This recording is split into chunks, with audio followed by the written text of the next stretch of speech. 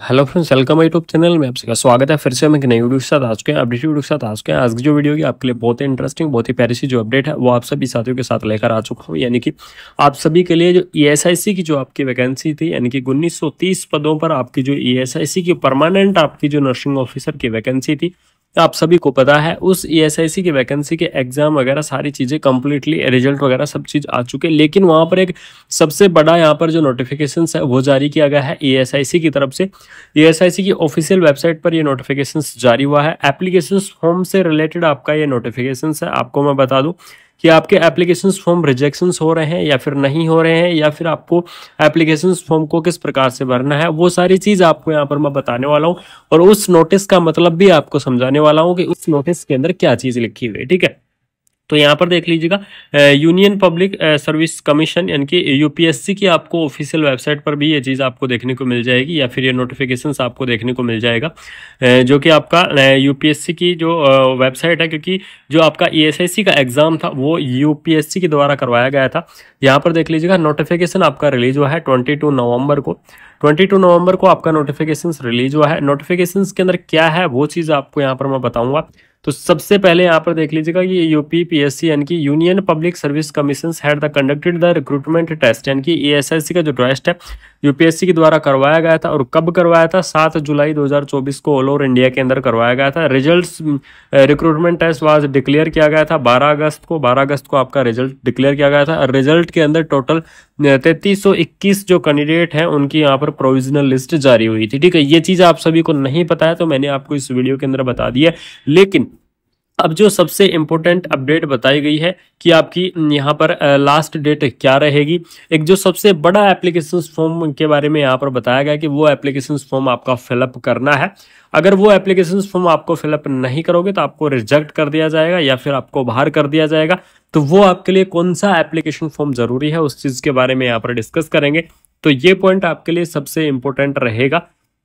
All sort candidate are required to fill and submit the detail application form यानी कि आपको डैफ भरना बहुत ही ज़रूरी है। जिन कैंडिडेटों ने अभी तक ईएसआईसी के शॉर्ट लिस्ट के अंदर उनका नाम आया था और वो कैंडिडेट अभी तक डैफ नहीं भरे हैं तो वो जल्दी से जल्दी जाकर अपना डैफ ज़रूर से भर दें।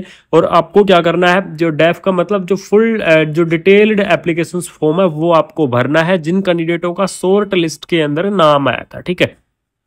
जिन कैंडिडेटों का शॉर्ट लिस्ट के अंदर नाम आया था, उन कैंडिडेटों को ये भरना है। तैतीस वो टोटल कैंडिडेट थे। एप्लीकेशन फॉर्म स्टार्ट हो रहे हैं ऑफिशियल वेबसाइट से।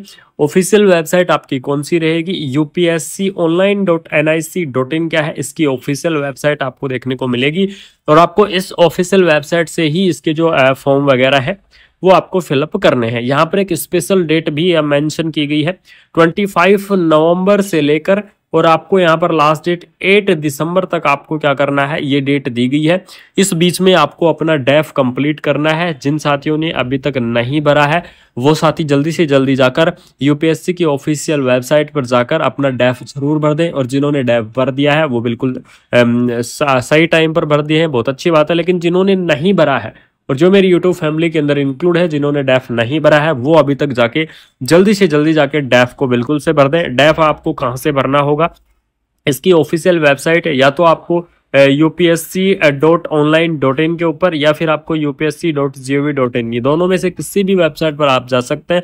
और वेबसाइट पर जाकर आपको क्या करना होगा, इसके जो डेफ है, उसको डेफ को भरना ज़रूरी है। आपको सबसे इंपॉर्टेंट बात बता देता हूँ, अगर आप डेफ नहीं भरते हैं, ठीक है?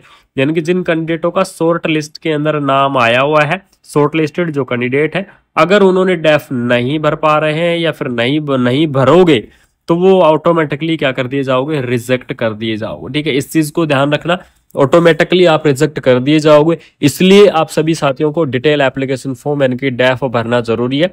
ये इन्फॉर्मेशन आप तक शेयर करना बहुत ही ज़रूरी था। आप सभी साथियों तक ये इन्फॉर्मेशन पहुंचाना बहुत ही ज़रूरी था कि आपके डेफ के एप्लीकेशन फॉर्म स्टार्ट हो चुके हैं। डेट भी यहाँ पर मैंशन कर दी गई है। कि आपकी लास्ट एट दिसंबर है एट दिसंबर तक आप अपना डेफ कंप्लीट करना है।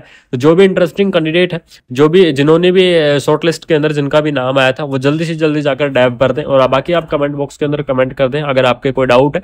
इस वैकेंसी से रिलेटेड तो आप बिल्कुल से कमेंट कर सकते हैं। बाकी आपको मिलते हैं ऐसी ही कोई नई अपडेट से, कोई नई इन्फॉर्मेशन से। तब तक थैंक यू सो मच जय हिंद।